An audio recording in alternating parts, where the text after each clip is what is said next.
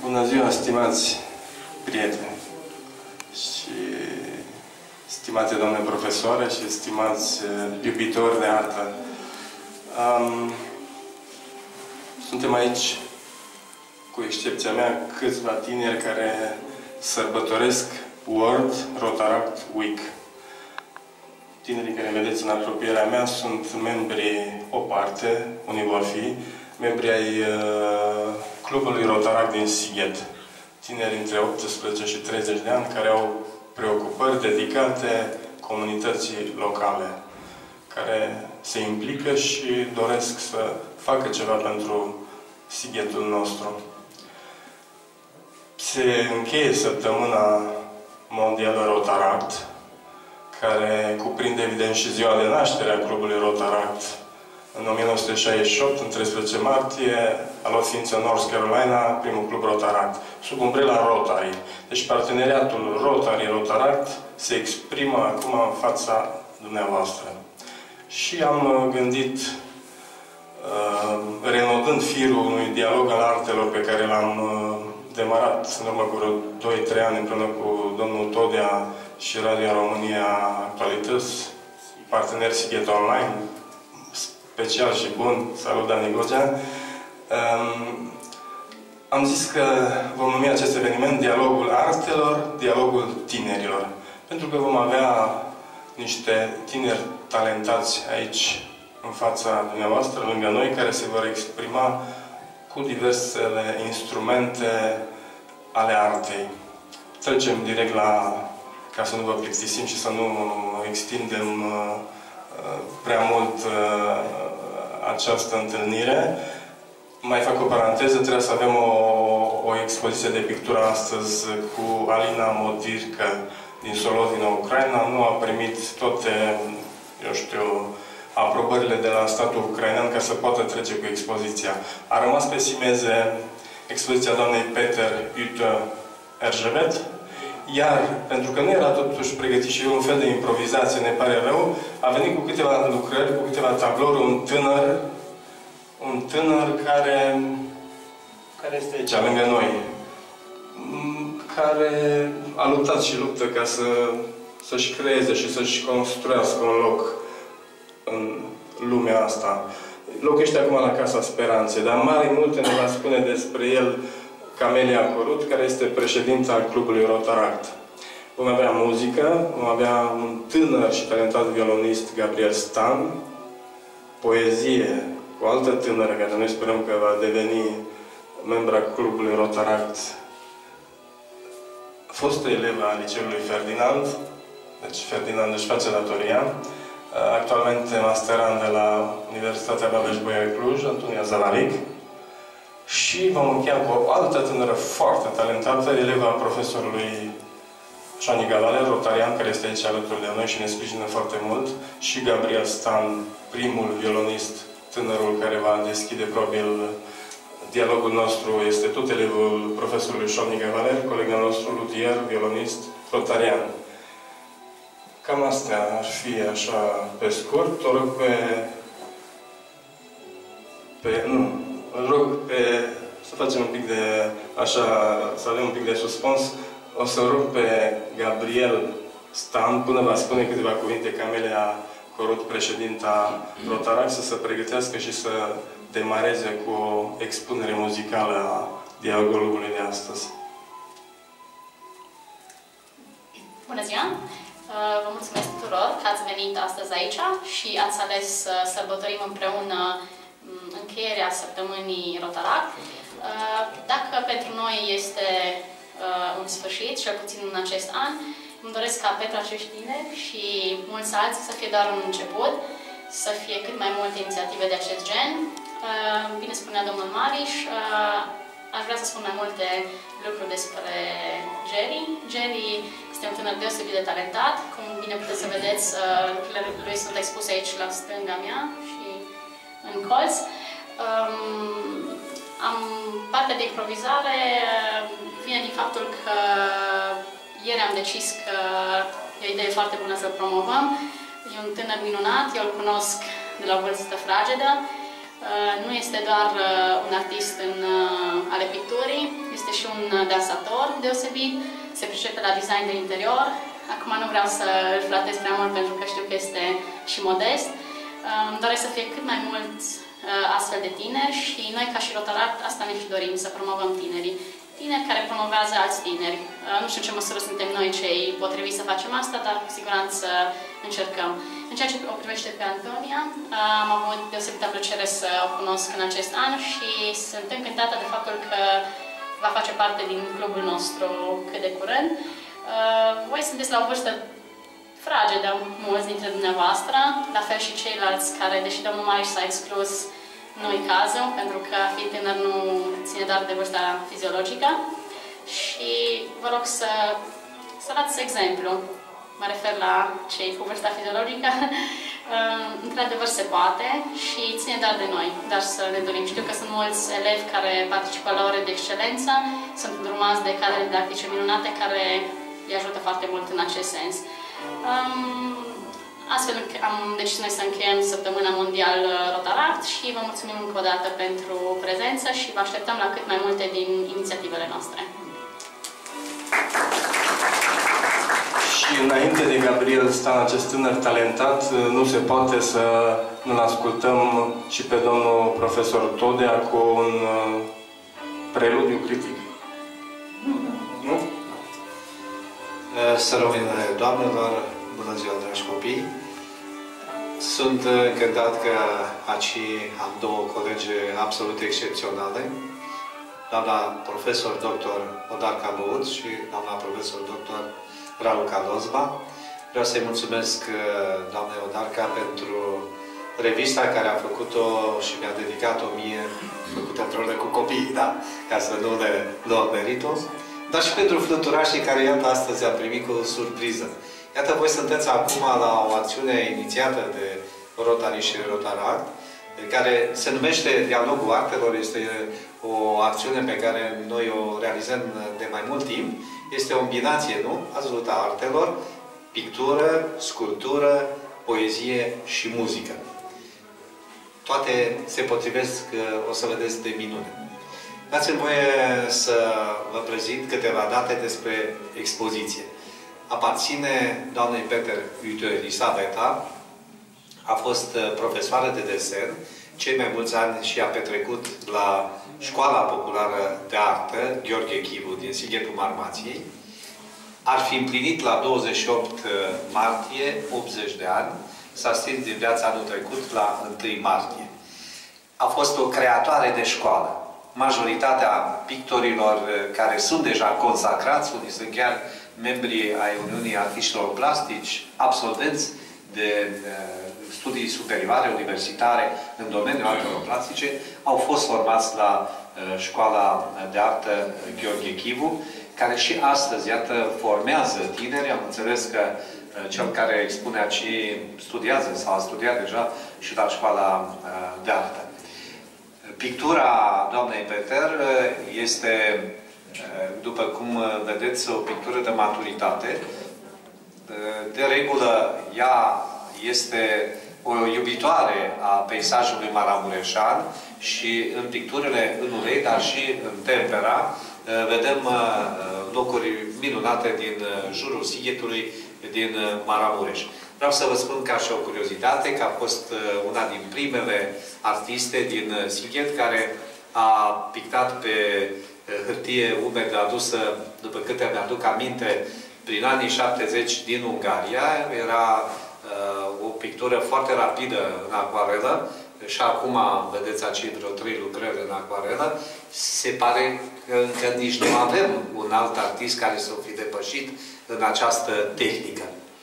Uh, îl salut și pe domnul profesor de la Clubul Copiilor, care are preocupări deosebite și rezultate deosebite cu copiii care sunt membri ai cercului eh, de pictură de acolo, dar dânsul este eh, de asemenea un artist eh, care, iată, s-a confirmat valoarea dacă ne gândim numai la primul festival Gheorghe Chivu, concursul de pictură l-a câștigat, a câștigat locul întâi, dat de un juriu competent.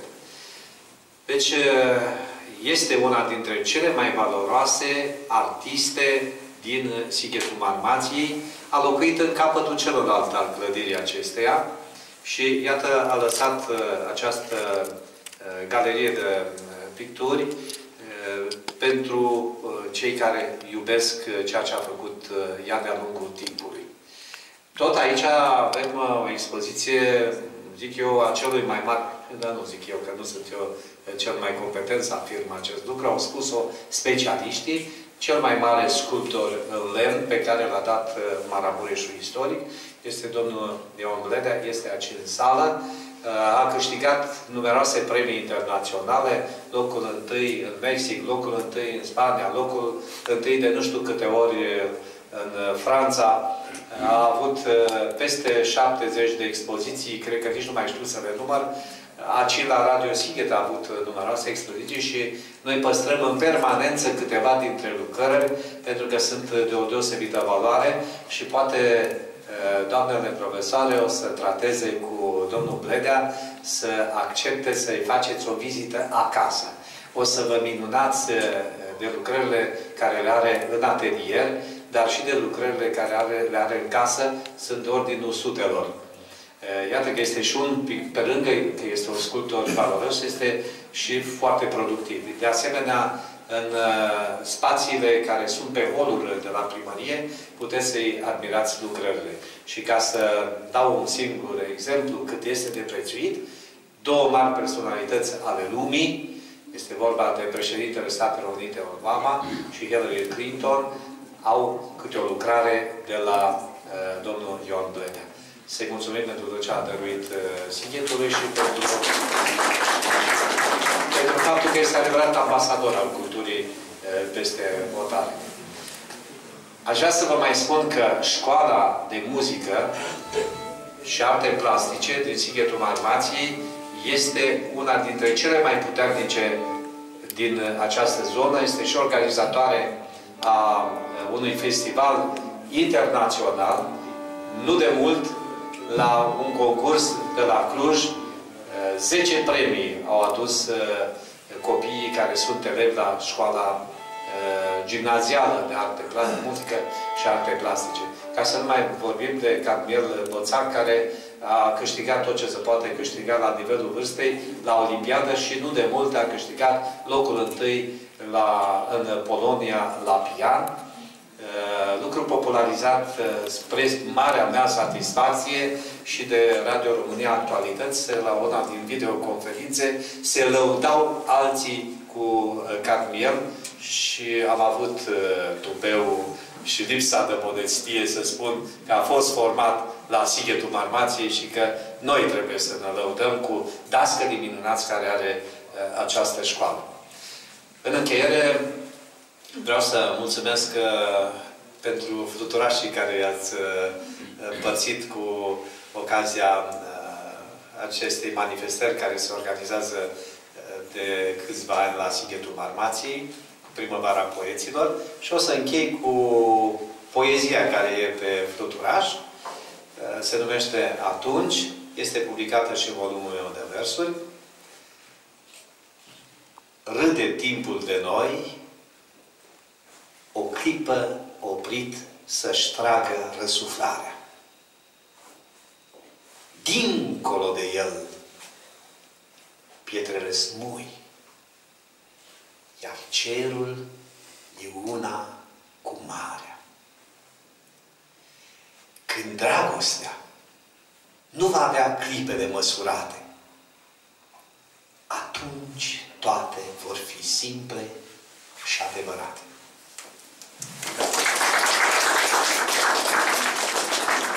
Mulțumim, mulțumim gazdei noastre, să nu uităm că este dialogul tinerilor, așadar... Cu bătrâni. Cu bătrâni, mereu cu bătrâni. Uh, vă invit să-l ascultați pe Gabriel Stan, elevul profesorului Alexandru Gavaler, rotarian, cum spuneam. Gabriel Stan, cu un studiu de Mațas, Cimpoiul, un tânăr de mare perspectivă. El demarează dialogul tinerilor.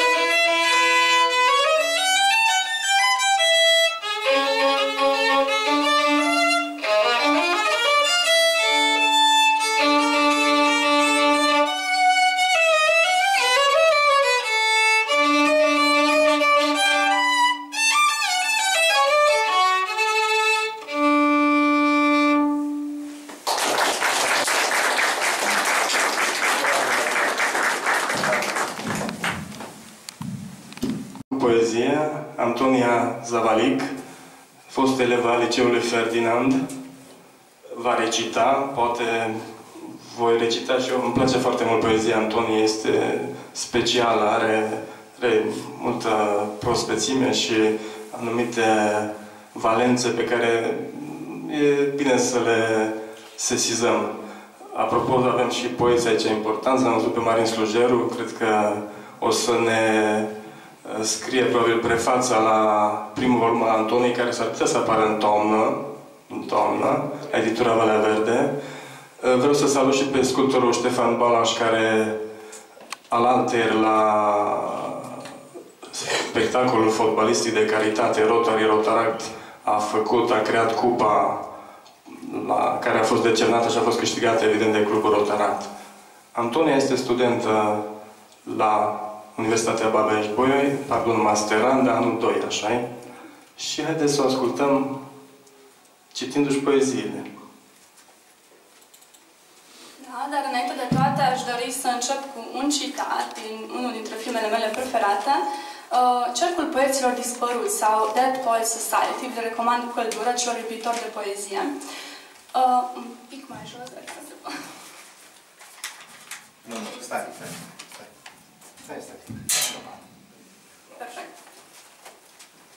Noi nu citim sau scriem poezii, fiindcă este drăguț.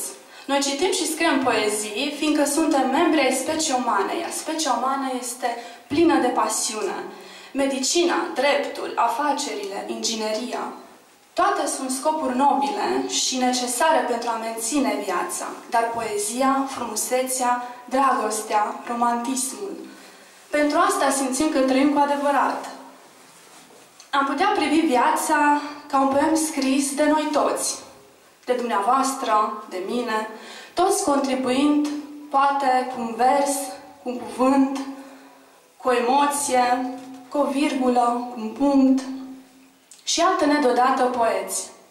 Am să încep cu o poezie de sezon pe care am scris-o chiar zilele trecute. Am uitat fereastra deschisă, așa, așa este titlul poeziei. Mi-am făcut ploape la ferestre, să te aștept mai aproape de ochii tăi, care încă se vând prin piețele negustorilor de lumină. Te cerșezi din mâinile celor mai flămânzi, celor mai însetați și celor mai morți, după un martie cât de cât călduros cu dragostea noastră. O, dragul meu, o să-mi rămâi de-a pururi un mărțișor care mă face să port doliu în fiecare primăvară. Anatomia singurătății Îmi amintesc cum ne lepădam de cuvinte, pe aceeași crestătură a dușumelei. Eu, tu, incurabil, acoperiți de o pătură bolnavă și toată lumea credea că ne iubim și noi eram singuri. În fiecare pernă căutam dragostea. Ne trezeam extenuați de dragul ei, numai să adormim iar, căci ne iubeam în vis și o știam doar noi. Suntem ca doi străini care se văd pentru prima oară și își întuiesc trecutul. Împreună nu mai avem decât un pat în care ne culcăm amintirile, veghând cu schimbul la căpătăiul lui. Anotimpul tăcerii. Trecem prin fiecare suflet, îl trecem în vedere, ne salutăm politicos și trecem imediat la următorul. Închidem buzele și ne închidem ochii, nu înainte de a ne întoarce capul, ca nu cumva să ne oprim din pași. În setea noastră de suflete, urmele noastre dispar și ce rămași în spatele nostru și-alor glas. Am dat Domnul la mâini, fiindcă nu știam să le țin. Acum mi sunt inutile toate mâinile. Am lăsat în spate un suflet și am uitat să-mi închid ochii, iar acum sunt de neînchis. Distanța ne depărtează când știm că în spatele nostru cresc suflete și noi creștem în depărtarea lor. Gândirea devine durere atunci când uităm cum este să uităm, apoi se face tăcere și încep să ne doară toate gândurile. Braile. Ne pomenim că acolo unde ne-au aflat alții, suntem prinși cu ace să ne țină în siguranță, ca atunci când astupați de răni, ne luăm de mână, dar pe sub haină ieșim și mai vulnerabili.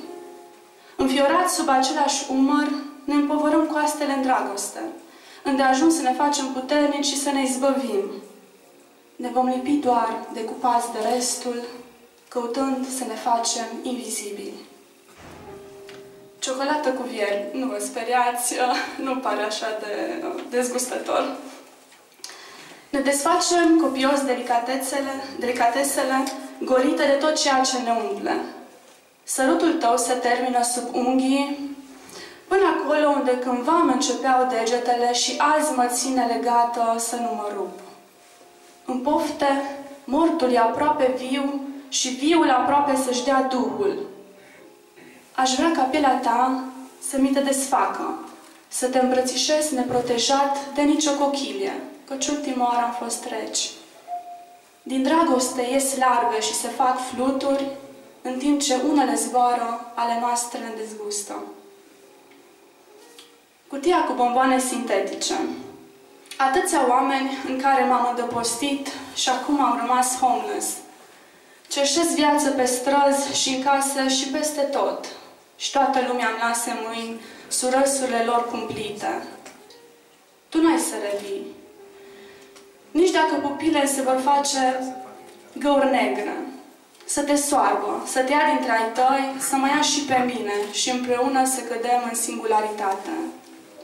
Univers în care să ne împărțim egal, eu ție, tu mie, restul din care mă scad până ajung o mică inimă, purtată în pieptul unui sfârșit.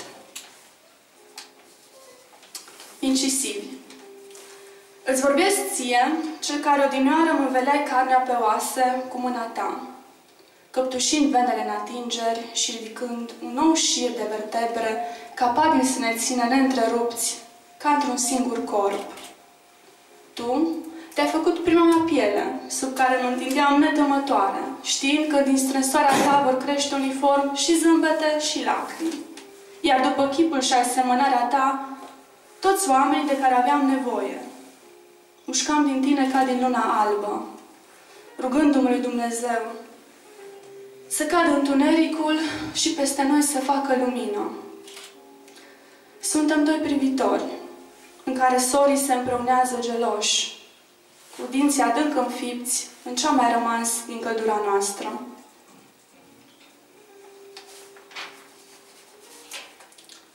Ispășirea cea de toate zilele. Aștept o umbră să-mi vină în întâmpinare mai devreme. O dimineață măcar să-mi ardă soarele pe dinăuntru și hainele să-mi lasă agățate pe alte trupuri iubite. Mă acoperă doar câteva scânduri, prin care intră aer destul și pentru morții de mâine. Rochile albe primite în dar, care pătează pielea atâtor virgine, pe mine le-am făcut să sângereze.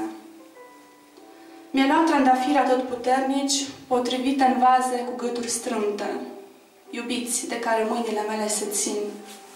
În timp ce spinilor se îndepărtează, să încheme sfinții mai aproape de raiul meu. Și noaptea îngerilor singuri, doar eu să cred că sunt femeia de care s-a îndrăgostit februaria. În plătele noastre se încălcesc visele. Abia că artistul poate pieptăna visele nehotărăților, care se tem umplea la nuanțe, amestecându-le incoerent, până când le plâng pânzele stoarse de culoare. Pășim cu aceeași greutate, ținând cărările la mijloc, acolo unde sperăm că se vor întâlni. Îndoim agrafele noastre în dragoste, căci încă nu ne putem prinde. La un moment dat se vor rupe și nu vom avea bani să ne cumpărăm altele. Atunci vom cerși agrafe nepotrivite care nu vor putea să ne țină visele și vom plânge neputințele lor. Va durea atât cât foarfecele ne vor tăia unul de altul. Știind că nu vom mai avea pe unde să ne trecem mâinile, vom geme în capăt de suflet, uitând că sângele nostru ne țese în toate colțurile. Faci o pauză. Fac Antonio o pauză, vă rog. O să încerc, deși... Salutăm și pe cei din familia Antoniei care sunt aici, fratele și tatăl ei. Și prietenii mei. Și prietenii tăi. Uh, o să încerc, mi-a plăcut foarte mult un poem al Antoniei, să-l recit așa rapid. Poem cu aromă de scorțișoară. N-am găsit un titlu care să te țină strâns sau să-ți lege pumnul de al meu cu forța unui stol de păsări când măsoară cerul pe aripi și poartă greutatea. Pe alocuri au putrezit îngeri și în locul lor a crescut atâta dragoste că ne putem sfinți inimile. Ai spus că noi ne izbăvim singuri și înfiorați în închinări necuvincioase. Cum ar fi să încetăm și Dumnezeu să se căiască? Antonia Zavalic.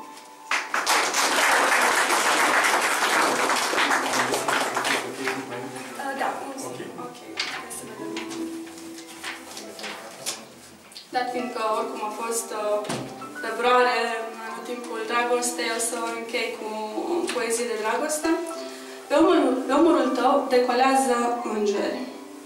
Tu, dragoste ce mă naști din pântecul mamei mele, să plâng în pântecul tău, mă hrănești cu lapte dintre cei mai adevărați sâni, să mă faci om al iubirii ce se poartă la mod în fiecare vreme. Tu, dragoste ce mă strângi, ca jucăria ce-și așteaptă copilul, cu degete dintre cele mai dornice, să mă legi de frânghile toate, care le țin de mână, cu oamenii toți pe care i-am iubit cândva, și am păstrat vii suflete în haine, așa cum i-am cunoscut, ei n-au să moară niciodată. Și în încheiere am pentru voi câteva cuvinte uh, legate așa de poezie, care am experimentat mult pe propria piele. Poezia ne doare, dar mai presus de toate ne vindecă. Mulțumesc! Felicitări! Iată o poezie feminină, dar o poezie, uh, chiar dacă este scrisă de o tânără, de o mare maturitate, cu un mesaj uh, care cred că l-ați simțit cu toții, chiar dacă sunteți mai uh, tineri. Deci sunteți încă la momentul ABC-ului în poezie. Aș vrea să vă mai atrag atenția asupra unui lucru în această expoziție, dacă toți suntem la dialogul artelor. Aici, în dreapta mea, se află un tablou care este pictat în culori foarte dure, foarte mult negru. Este un cer care nu e nici albastru, are și pete de sânge. Ce este luminos este buchetul mare de flori care este pus, de fapt, la ceea ce reprezintă eroii de la Moisei, monumentul lui Dida Gheza. Și dacă vă uitați, florile domină în primul plan, fiind, de fapt, omagiul adus eroilor de la Moisei, iar singurile lumini care sunt acolo sunt uh, cele care sunt pe stâlpii de la Moisei. puțin știți că Vida Gheza este unul din cei mai mari sculptori ai Maramureșului. Anul acesta este dedicat lui Vida Gheza pentru că s-au împlinit 100 ani de la naștere. La Baia Mare a început un set de manifestări. A fost și la Carei, unde se află monumentul ostașului român, acolo unde a fost eliberată ultima brază de pământ în cel de-al doilea război mondial. Are sfatul bătrânilor de la uh, Baia Mare, dar mai are uh, câteva lucrări extraordinare în lemn. Este, zic eu și specialiștii, un uh, sculptor care poate fi liniștit așezat după brâncuș. Pentru că sculptura lui are acea stilizare, acel modernism, dar să nu uităm că este inspirat din mitologia Maramureșului, din personajele care au trăit în Maramureș, din, uh, atât din personajele reale cât și din mitologie legate de minerit. Pentru că el s-a tras dintr-o uh, familie de mineri. A avut o viață extrem de, uh, știu, uh, spectaculoasă. A luptat în războiul din Spania sub conducerea lui Walter Roman. A fost apoi în lagăr uh, și a început uh, cariera în jurul școlii de pictură de la Baia Mare, școală care a fost uh, înființată, condusă de uh, Holoși, de către Sigheteanu Holoși. Deci iată că Sighetul a dat din totdeauna uh, mari artiști. Deci am vrut să vă atrag atenția că, iată, o pictoriță care ar fi împlinit 80 de ani, sau împlinit 80 de ani, de fapt, de la naștere, pune pe pânză o sculptură a celui care a împlinit 100 de ani de la naștere, uh, Vida Gheza, la Baia Mare, va fi amenajat până în toamnă un uh, atelier, muzeu uh, dedicat artistului, iar la București și la Roma vor fi organizate uh, manifestări dedicate anului Vidaghez. Da, și mulțumim. Și eu o să vă atrag atenția acum asupra unui talent deosebit. O tânără care a plecat de la Sighet, este clasa 10 la Liceul Sigismund Toduța din Cluj-Napoca, o violonistă extraordinară, se numește Raluca Mihnea, este fosta eleva profesorului Alexandru Gavaler, ne va cânta un studiu romantic de Charles Danca. O să vedeți că este chiar deosebit de talentată și în acest dialog are un important, important rol Raluca Mihnea.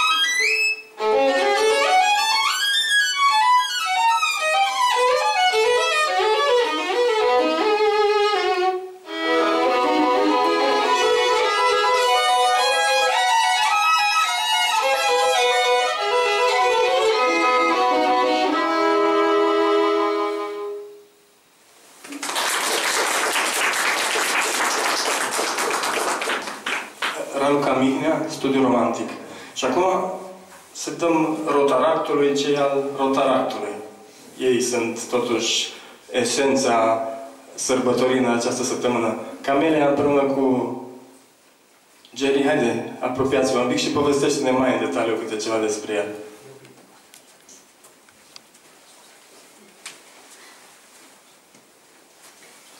Jerry e puțin timid, dar n-ar trebui să fie timid și nici modest. Uh, o să repet, lucrările de pe partea stângă sunt ale lui, sunt într-adevăr minunate și eu vreau să-l felicit personal pentru realizările sale. La un moment dat mărturisea că își dorește pentru viitor să progreseze în ceea ce privește pictura.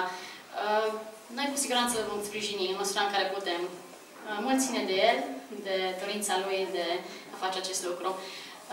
În această zi s-a vorbit mult despre dialogul dintre tineri. Uh, eu l-am simțit oarecum, poate luând uh, pulsul sălii, dacă pot să spun așa. Uh, s-a simțit și din emoțiile voastre și din ceea ce ați demonstrat că vă place ceea ce ați văzut, ceea ce e un semn minunat pentru noi și un feedback deosebit. Înseamnă că, într-adevăr, ceea ce ne-am propus am reușit să, să realizăm. Mm, sper să fie doar un început, să fie cât mai multe inițiative de acest fel și în timp, în viitor, cât mai mulți dintre dumneavoastră să, cei, cei tineri, bineînțeles, tineri, așa, să fiți promovați aici. Noi să facem tot posibilul să realizăm acest lucru. Aș dori să mulțumesc din nou tuturor celor prezenți, celor care au susținut acest uh, proiect. Închem uh, astfel această inițiativă și pentru inițiativa de astăzi Aș vrea doar să-i mulțumesc colegului Danu Flim, vicepreședintele Rotaract. A fost ideea lui de proiect și el a fost și coordonatorul proiectului. Nu se află astăzi aici, deoarece nu este în țară. A făcut în așa fel încât toate să fie cum sunt azi și vreau să-l felicit pe această cale. Vă mulțumesc încă o dată Stăm de vorbă cu Antonia Zavalic, poetă, sigheteancă de mare valoare și de mare perspectivă. Cine este Antonia Zavalic? Sunt o studentă în anul 2 la master UBB um, Cluj-Napoca, Facultate de Sociologie și Asistență Socială.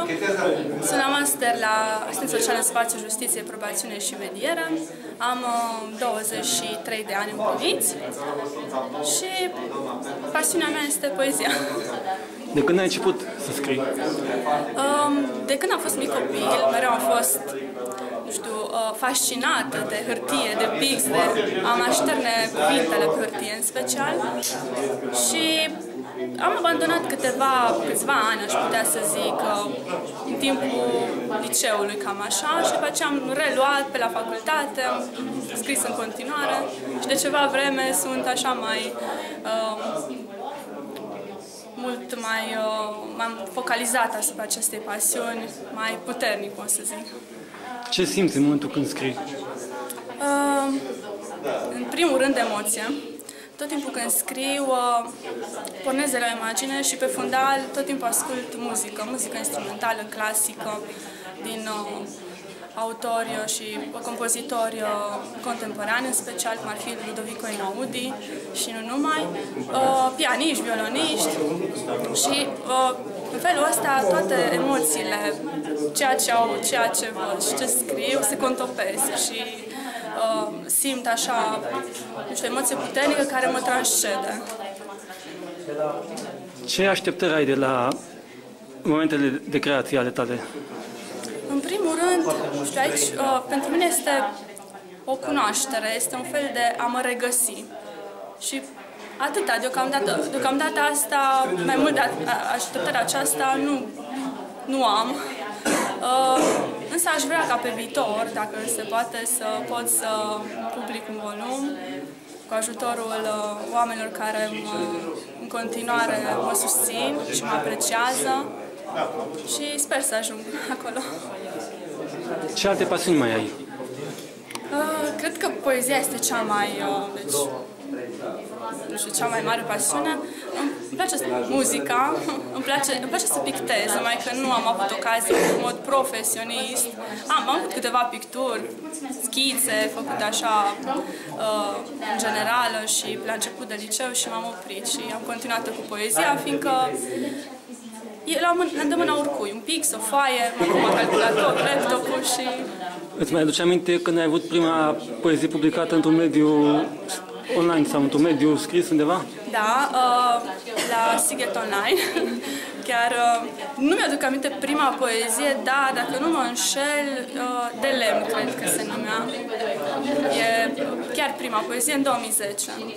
Știu că datorită tatălui meu care m-a rugat, el este un mare, foarte mult urmărește uh, Sighet Online și mi-a spus, Antonia, trebuie să te văd și pe tine acolo la, uh, la pagina elevilor. Așa am început și după aceea la, am trecut la secțiunea uh, culturală, la cultură și sunt foarte recunoscătoare pe această cale uh, Sighet Online și întregi echipe. Mulțumesc!